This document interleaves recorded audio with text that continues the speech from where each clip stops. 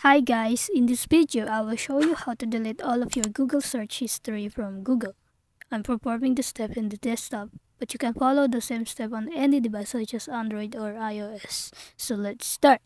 The first thing you need to do is tap your profile at the top left corner and then tap manage your Google account. And it will bring you to this my account section of Google. So from the left side, sidebar, select data and personalization and then tap web and apps activity. Uh, so from here you just scroll down and then where it says manage activity.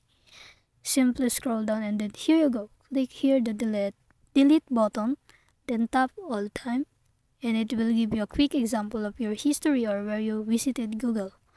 Just select delete and here you go. That's how you delete all of your Google search history.